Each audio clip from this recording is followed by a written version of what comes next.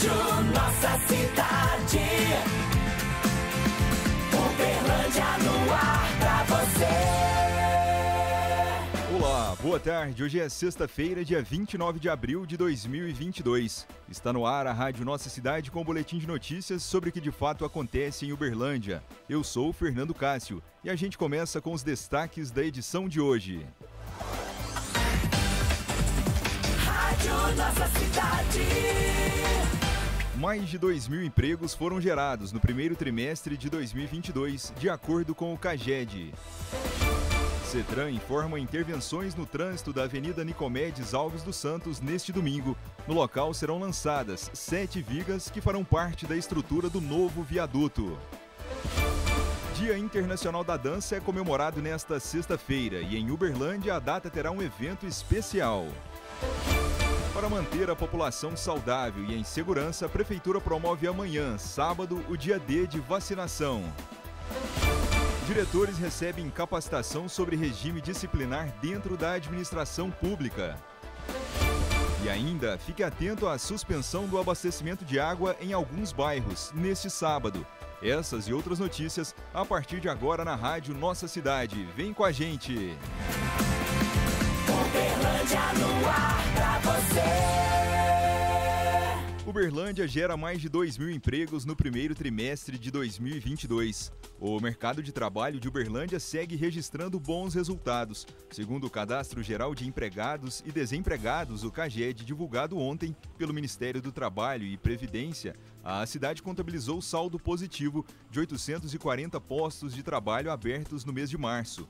No primeiro trimestre, o número de admissões superou os desligamentos em 2.089 empregos. Considerando apenas o mês de março, houve 12.174 contratações contra 11.334 desligamentos. O setor de serviços puxou o desempenho, com saldo positivo de 562 vagas. Secretaria Municipal de Trânsito e Transportes, a CETRAN, informa que realizarão interdição no cruzamento entre as avenidas Nicomedes Alves dos Santos e Vinhedos neste domingo, em decorrência das obras do viaduto da Nicomedes. A Secretaria Municipal de Trânsito e Transportes, a CETRAN, informa que realizarão interdição e desvios no cruzamento entre as avenidas Nicomedes, Alves dos Santos e Vinhedos neste próximo domingo, dia 1 de maio.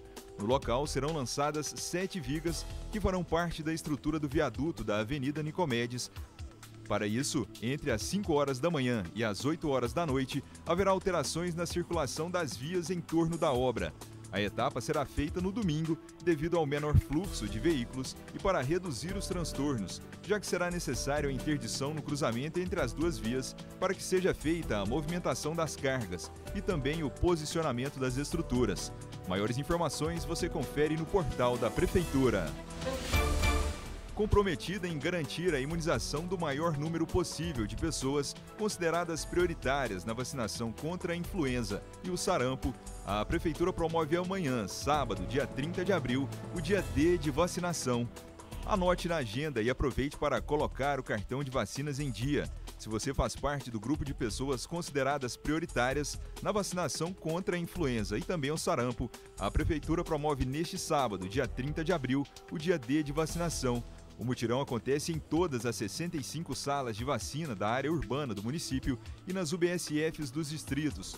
Durante a mobilização, também será possível colocar o cartão de vacinas em dia. Por isso, não esqueça de levar o seu. Confira a lista completa do grupo prioritário de vacinação no portal da Prefeitura de Uberlândia. Fique atento ao recado da coordenadora do Programa Municipal de Imunização, Cláudia Oliveira.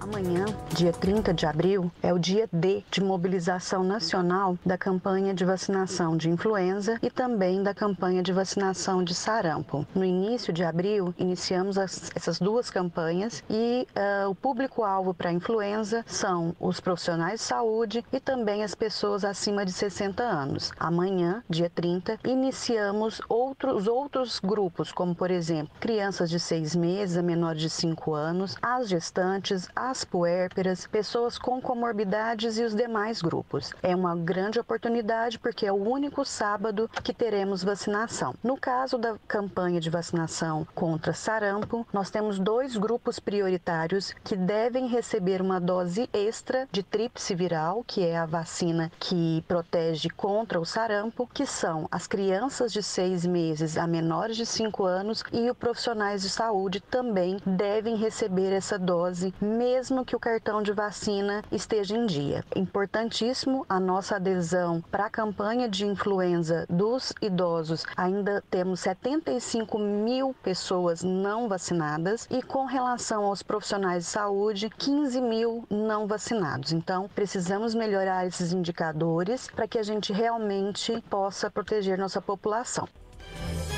Dia Internacional da Dança é celebrado hoje com apresentações gratuitas de coreografias inscritas em edital da Secretaria Municipal de Cultura e Turismo, a partir das 18 horas no Teatro Municipal.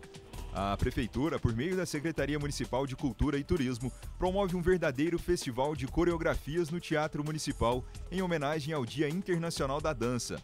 O evento começa às 18 horas e a entrada é gratuita, tanto no palco italiano quanto no foyer. O público vai conferir diversas apresentações realizadas por escolas, grupos e companhias de dança da cidade. As coreografias foram inscritas por meio do edital aberto em março pela secretaria. O espetáculo começa às 18 horas no palco italiano, com as apresentações infantis.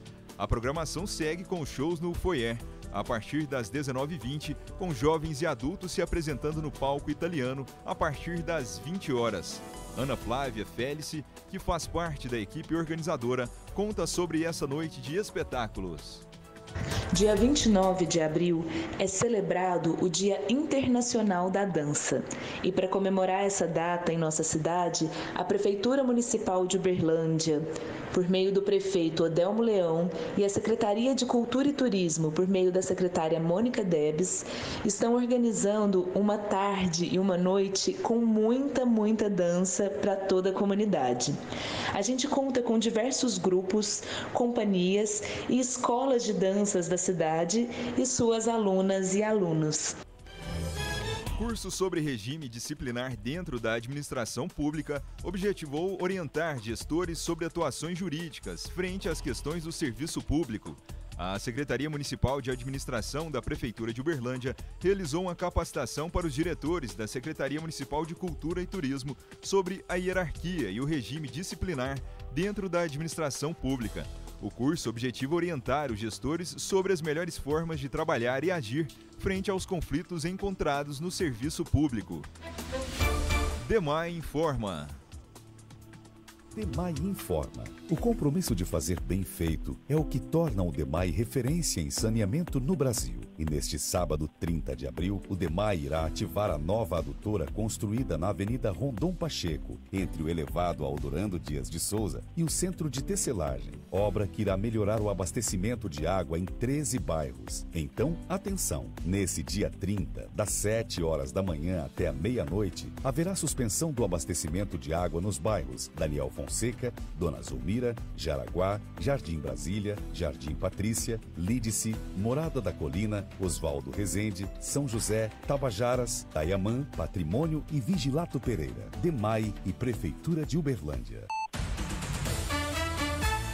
Giro de notícias. Neste domingo, 1 de maio, às 10 horas da manhã, a Arena Sabiazinho recebe o segundo jogo da final da Superliga Masculina de Vôlei entre Minas e Cruzeiro. A escolha da Arena Sabiazinho para receber o jogo se deve à excelente estrutura do espaço, considerado um dos principais ginásios do país.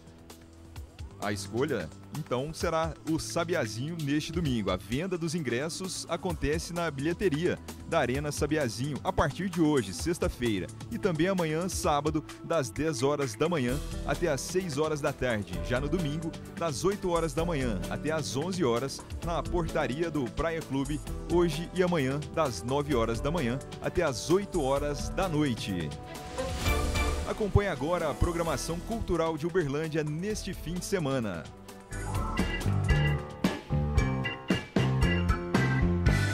Olá pessoal, confira comigo um pouco da nossa agenda cultural da semana. Sábado no Teatro Municipal temos o musical O Encanto da Família Madrigal, com sessões às quatro da tarde e às sete da noite. E também no teatro, às sete da noite no domingo, música com trio de piano, violino e canto. Confira mais da nossa programação dentro do portal da Prefeitura e nas nossas redes sociais. Semana que vem tem mais. Até lá! Giro de notícias. E a edição de hoje fica por aqui. Obrigado pela sua audiência. Rádio Nossa Cidade. Jornalista responsável pela edição Bia Montes. Responsável técnico Cristiano Silva. Secretário Municipal de Governo e Comunicação Marco Túlio de Castro Kalimann. Prefeitura de Uberlândia. Fazer mais, fazer bem. Até a próxima. Fica por aqui mais uma edição do programa da Rádio Nossa Cidade. Continue conosco no portal da Prefeitura e nas redes sociais.